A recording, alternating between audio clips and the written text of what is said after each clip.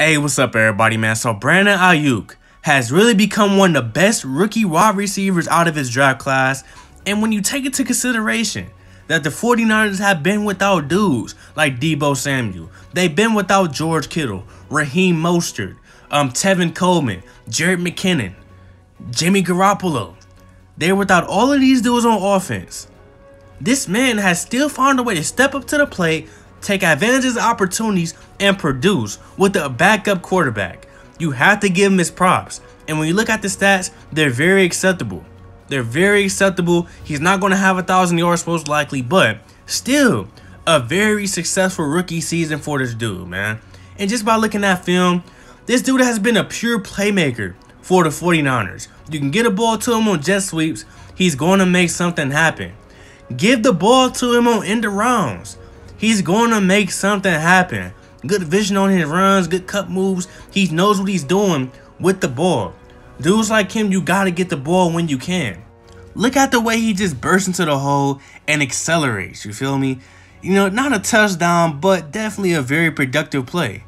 Give him the ball on screens and just let him go to work. Just breaking tackles, you feel me? Just let him go to work. He's crazy in the open field just hurling the defender.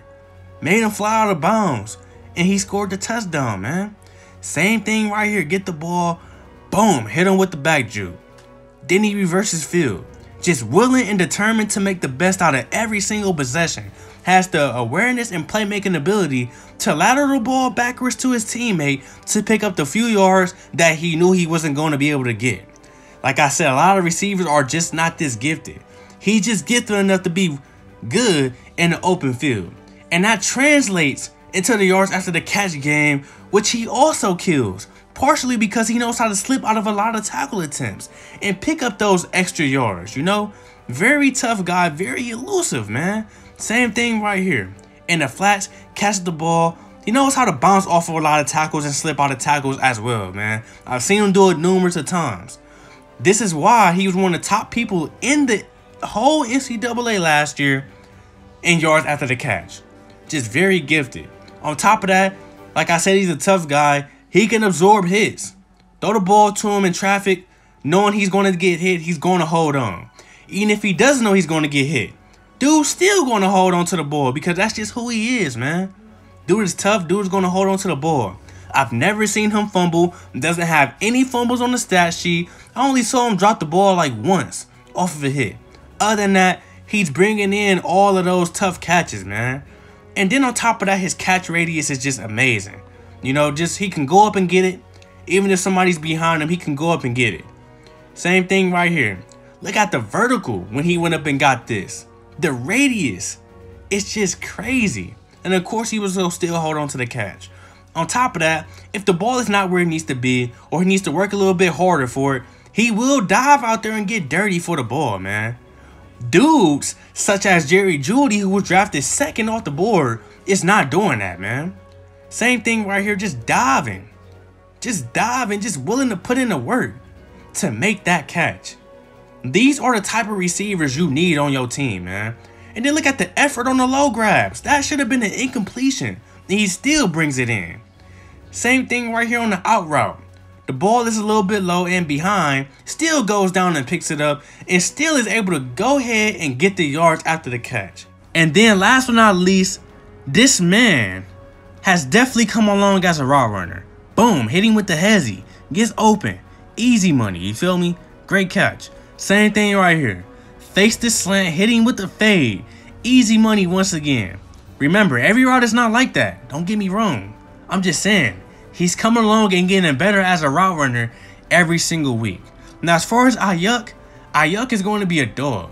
Aiyuk, when Deebo Samuel comes back, if they both can remain healthy, come on, man. They already got George Kittle. They already got Raheem Mostert in the backfield. I don't know what the quarterback situation gonna be like next year, but this team has weapons, has a lot of speed, and we seen what they did last year when they was healthy. And they still got the defense that anchor the offense. Come on, man. These dudes are going to eat together next year if they can stay healthy, man. I'm telling you. He, he fits right in. And he may actually take over as the number one wide receiver. Deebo might have to defer and be number two. This man might already be the number one wide receiver. That's how good he is. And just to sum up, the type of receiver he is, the dude is basically a playmaker. Give him the ball in the open field. Let him work. Rather it's just sweeps and the rounds, screens. Let him work. Yards after the catch. He can get those. He knows how to slip out of tackles. He knows how to break tackles. Very physical and elusive receiver. He's not like those big body receivers like DK Metcalf, but for who he is and his size, I think it's fair enough to say that he's pretty elusive and physical for his size, man. Very athletic on top of that. On top of when you bring up his hands, he can go up and get it. He can go down and get it. He can dive out for it. And if you throw it on the money, definitely going to catch it. If he gets hit, he will hold on 9 times out of 10. Very good receiver. And he's still working on his route running in the process, man. That is exactly who Brandon Aiyuk is to me. Now, if I had to compare him to a receiver that's in the NFL right now, I would compare him to AJ Brown. He's just a little bit less physical, but a little bit more athletic, you know?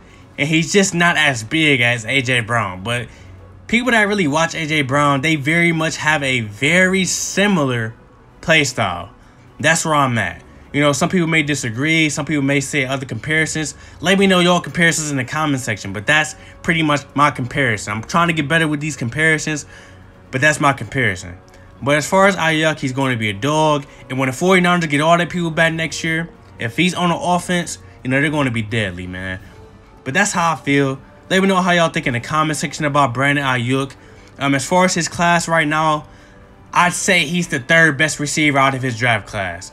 I say he's the third best. Y'all can argue it all y'all want, you know, and debate about it, but me personally, I say he's probably the third best. But let me know what y'all think in the comment section. Like, comment, subscribe, and I got some more content coming soon.